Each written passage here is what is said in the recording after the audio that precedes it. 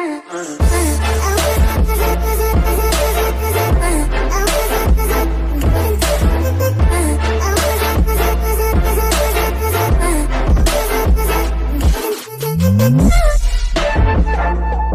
hey what's up buddy? How are you today? I hope you're doing really so then I did in the comment section today I'm back with another interesting story and this is going to be a long series so this is first part and our topic is Bertiard Deku texting story so let's get started with the video. Make sure to like the video and subscribe to the channel. Press the bell icon for the latest notification.